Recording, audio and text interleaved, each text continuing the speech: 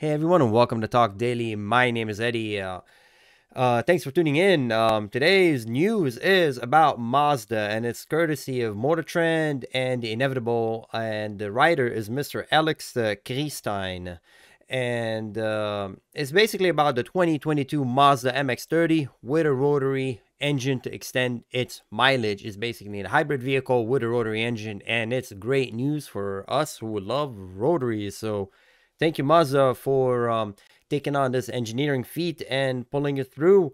Um, it's happening.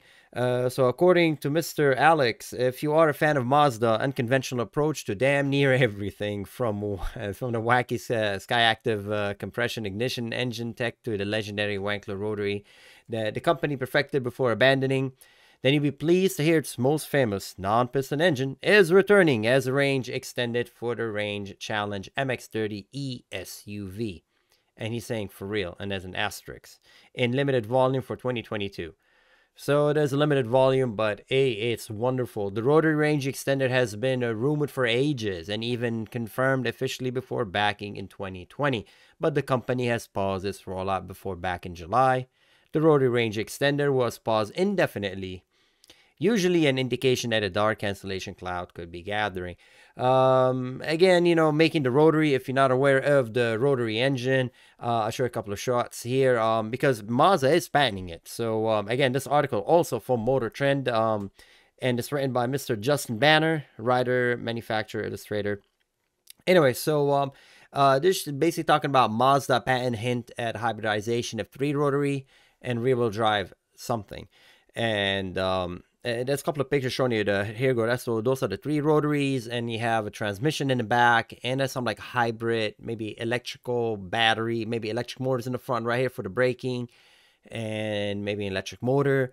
Um, they don't go on details as far as the um, the specific layout is concerned but if that might be something that will be present in well you guessed it the c3 the mx30 um, it goes on saying it looks like the they're talking about like the fact that we're able to figure out how to use it. Um, but uh, I'm not quite sure yet what fuel is going to be using. Um, we don't know if it's going to be using hi- uh, hydrogen or is going to be using conventional fuel. We don't know yet. So you see, he said he's talking about the fact that there's no details currently available, but we know they're making it. So it says anyone who's seen the uh, i3 REX in range extended mode knows that something a little. Uh, he knows that basically what he's saying that the original layout, uh, the vehicle has a very hard time, you know, limping. Uh, it doesn't have a lot of power because the current uh, powertrain in it is not sufficient enough. So that's why they're trying to add the rotary to it. So he concludes by saying we would not be surprised if the range extender closely resembled the setup that Mazda testing in Japan on local market Demio. Mazda 2 a few years back. But in the state, Mazda hasn't sold a rotary engine since the RX-8 went out of production. I love the RX-8. Uh, what it ends up being or how compelling the package will be, we're gonna see. So uh, again, the, they don't give up a lot of uh, a lot of information, which is understandable. Okay, these are these. I mean, here's a vehicle that's uh, gonna be having that powertrain. Um, it's it's a it's a pretty design, man. I mean, look at it. It's it's unconventional. It's cute. Um, is different. I like the suicide door. Um, uh, I mean, whether practical or not, it kind of looks like an RX-8 door, honestly. But look, look at that gentleman and uh, this lady looked very happy. They look very pleased with the vehicle. Very pleased. Oh, look at them again with the car. Uh, again, the car looks chic. It looks nice. I, I can't really fault it. I, I like that little door because uh, technically it's pretty much a two-door car, but you have the four-door when you want it. Look at the interior again. That's currently that's the Mazda layout, but that's pretty. I mean, I don't know if you remember back in the day with the BMW iDrive, but the the center console when you have the little instrument uh, selector, it's pretty. I mean, you got Bose. It, it, it looks like a beautiful place to be in. It kind of looks comfortable. I don't know how supportive the seats are, but hey, I mean, for the price you're getting, uh, this is kind of like uh, average uh, um, seat. I haven't sat in it. I mean, the the back's even even gonna look at it. Um, and there you go. Here's the charging and um, it, it's it's all electric currently, but we don't know. I mean, how are they gonna do? How do you go to Skyactiv? The uh, if you don't know what how the Skyactiv is, it's basically compression ignition. Um, I'll make another video about it at some point. Um, but think about it, kind of like a little bit like a diesel, uh, but not exact. Um, again, I just like it. looks chic. I like the tail light. They kind of a little bit. There's a, Miata uh, theme to them. That's why the batteries are stacked uh, in this vehicle. Low center of gravity. Um, uh, so mm, that's the there you go. That's the the brain for it. That's all the wiring. It just um. Again, I mean, it's it's good to see Mazda going in this direction and um, i can't wait if honestly if they're gonna have a rotary because with the way it's supposed to uh, lay, the layout is that rotary is gonna be between uh, well behind the front axle and the transmission is going to be uh, behind the, the rear axle. So everything going to be in the center. It's almost like a midship, o- almost, almost. Okay, it's not. And again, it's not performance. Don't don't get it uh, don't get it wrong. It's not really designed for performance.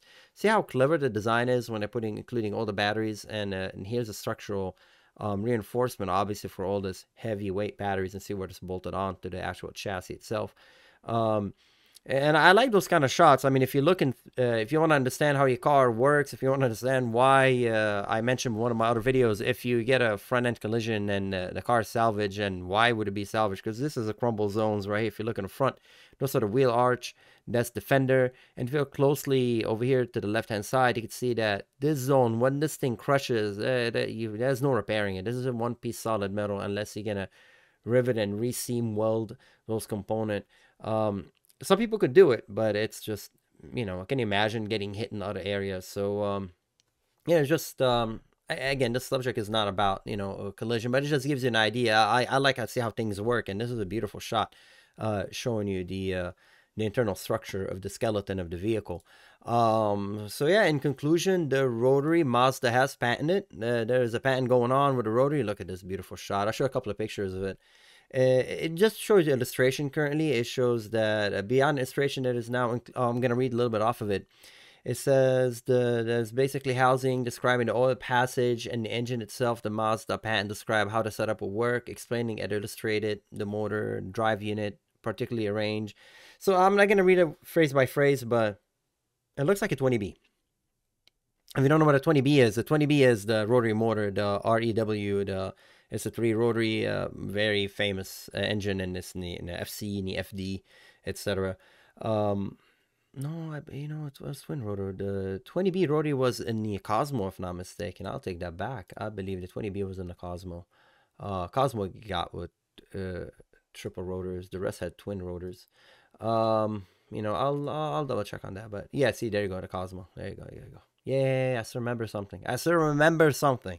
Yeah, it was in the Cosmo. The, so the the FC, the FD had um, two uh, rotaries, not three. Um, but yeah, again, they uh, they don't really describe specifically what's gonna be. There, There's a lot of photos, but again, there's no description, unfortunately, specifically uh, saying what they can use it for. And here you go regarding the clean burning fuel such as hydrogen. They don't mention it. So even as a hybrid powertrain, we'd imagine that running a rotary engine is still an emission-intensive process when using gasoline. Uh, however, if using a cleaner burning fuel such as hydrogen, some of those issues could be possibly solved, while the electric motor could make up for the rotary's traditional weak, low RPM torque. If you're not familiar, rotaries don't really generate a lot of torque down below. And I mean, not a lot. Basically, it's not like the engine is, uh, it doesn't, you know, unable of making it or makes a very small number like 50. No, it, it does, but it's not going to give you uh, that torque until you're like at 4,000, 5,000 RPM. It's, it's, it's kind of high revving engine, but that's the beauty of it. Um, if you have a rotary uh, and you know a lot about rotary, mention in the comment below, let us know. Uh, I love it. Uh, I love rotaries. I think they are uh, really not. Um, uh, unfortunately get a, a, lot of fame as they you know uh, as they should uh, they have a lot of yeah some apex seals have issues but I think Rotary is some wonderful, very, very unique vehicles. Almost like the air-cooled engines. Uh, to me, there's air-cooled engine, there's rotaries, and then there's the conventional engines. Um, uh, those are just wonderful design, very unique. Uh, obviously, it's not all about power and speed, but it just the uniqueness. It's all the way up there in my book. A rotary is so unique, and when you see it in person, and if you're a gearhead and you see a rotary, you see how small it is and how compact it's it's kind of refreshing when you when you see it compared to a traditional engine. Um, so anyways, so yeah, the uniqueness of um, rotary, air cooled, and a boxer engine than your traditional engine. That's the listing according to me anyways um i hope uh this uh this news uh, got you as excited as i did um i mean i love rotary and hopefully uh it will uh, i mean it, it is coming for they're talking about 2022 you're gonna see some of them on the road in this format. So that um, i'm gonna leave it out there. Maybe you're gonna have a new rx7 maybe? With a hybrid? Who knows? Who knows?